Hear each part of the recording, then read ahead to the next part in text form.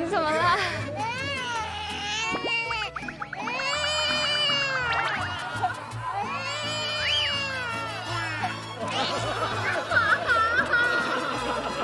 就喜欢美女。你怎么了？你别哭，你别哭了，别哭了啊！不哭了，不哭了。在演艺界，赵丽颖和冯绍峰也算是一对俊男靓女了。两个人相貌都很高，而且都有着很多著名的作品。他们的结合能说成是演艺界的一段佳话。众所周知，赵丽颖和冯绍峰二人在二零一八年毫无预兆的官宣结婚了。令大家没有想到的是，结婚不久后，想想出生。就在大家慢慢接受并且开始祝福的时候，二人又毫无预警的宣布和平离婚，还表示两个人会共同抚养儿子。想想，虽然大家从一开始就不看好这一对明星夫妻，但令广大网友想不到的是，赵丽颖和冯绍峰两个人从结婚生子到离婚，只用了短短的三年时间。这场婚姻对赵丽颖来说，仿佛是一个意外。赵丽颖出身农村，祖祖辈辈都是农民，她没有背景，也不走绝境。在娱乐圈，赵丽颖只是凭借一腔孤勇，赤手空拳的打天下的狠人。而冯绍峰的人生经历和赵丽颖完全不同。冯绍峰曾在多部戏中演王爷，戏外也是如假包换的富二代，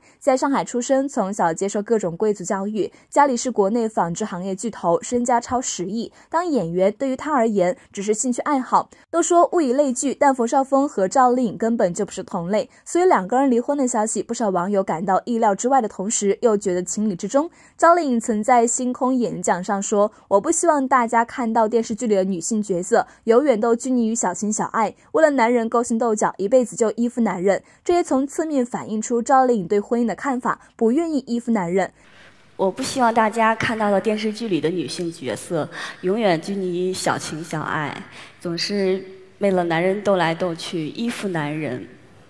我希望他们能够拥有更丰富的思想，积极的去追求自己的信仰。男人如果有英雄梦，为什么女人就不行呢？转眼间，赵丽颖与冯绍峰的孩子已经两岁多了，目前是由冯绍峰的父母在带。赵丽颖在工作之余，也经常抽空回到上海探望儿子想想，努力弥补母爱。在去年八月的时候，有媒体拍到赵丽颖带想想在商场的顶楼花园玩耍，从中可以看出想想非常。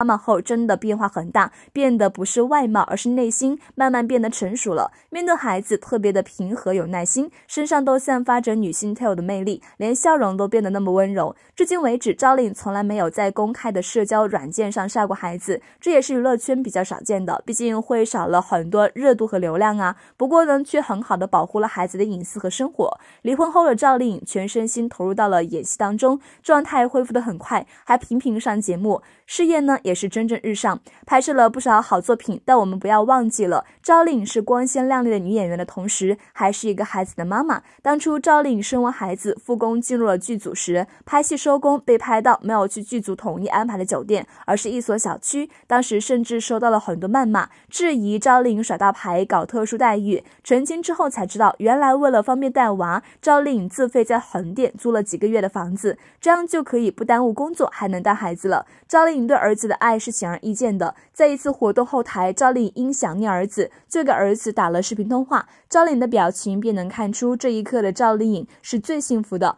满脸的母爱光辉以及发自内心的笑容。而下一秒呢，冯绍峰出现，赵丽颖的下意识反应太绝了，只见他立即挂断了电话，这反应也实在是太真实了。或许是怕被在场的媒体拍到跟冯绍峰有过多的交集吧，才会如此匆匆的挂断电话。如今两个人已经从。夫妻变成朋友，祝福他们未来能够各自安好，各自精彩吧。